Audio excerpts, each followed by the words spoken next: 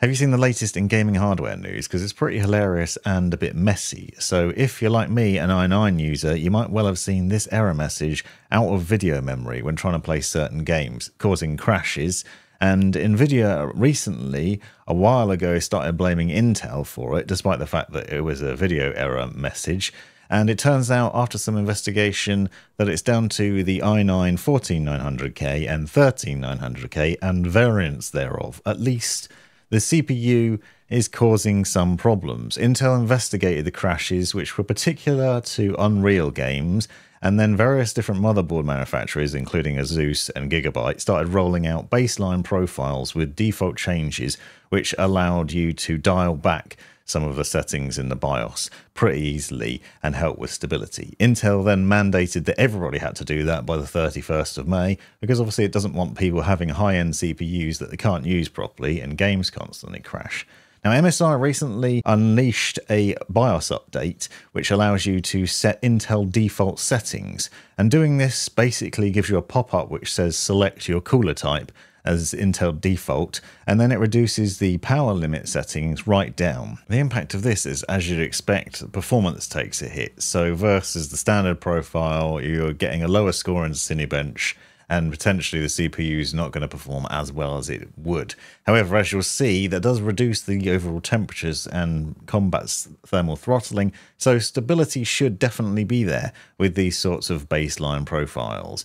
However, Intel's come out and said that several motherboard manufacturers are basically pushing out these profiles that are not in line with Intel's default settings, and Intel is not recommending that motherboard manufacturers use baseline power delivery settings on motherboards that are capable of higher values, because you could be getting more out of your system you don't necessarily need to throttle it right back like that. So it's kind of a knee jerk reaction. Intel has its own recommended default settings, which is published and you can see here. And that includes power delivery profiles for both the 13th gen and 14th gen i9 CPUs and the K and KF and KS variants as well with the different settings because it shouldn't be the same for each of those different CPUs. So you can go into the BIOS and tweak those settings manually. And it's basically all about adjusting the power limit, the short duration power limit and the long duration power limit, along with some other settings in there. Because as default, it was going to like 4096 watts, which was too high, and that was causing the instability.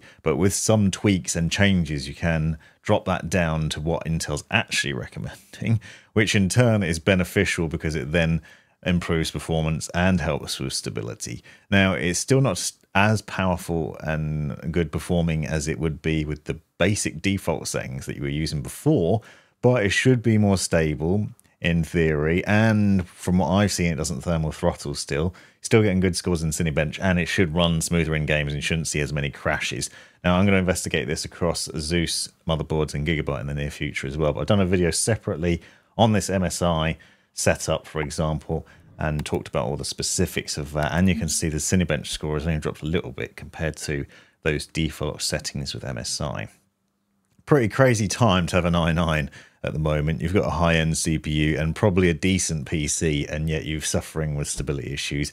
I had no end of bother when I was running an Asus motherboard with this setup, and it was causing me all sorts of headaches with things crashing. I didn't realize at the time what it was actually down to. I thought there was a hardware issue. Turns out it's actually the BIOS. So if you're suffering with those problems, it may well be worth looking at the BIOS settings getting the latest BIOS updates and seeing if that helps improve stability. Come back for more and subscribe if you haven't already. Thanks for watching.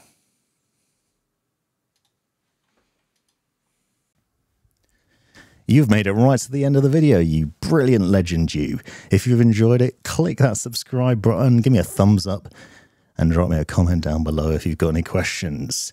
If you really enjoyed it, consider joining the channel and see the benefits of doing so. Check out these other videos. You might well find them interesting or useful. And most importantly, have a great life.